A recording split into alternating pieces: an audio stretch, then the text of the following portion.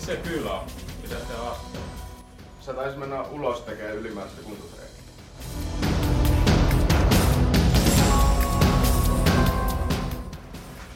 Tuumas! Bara en till Veikkausliga bli fun!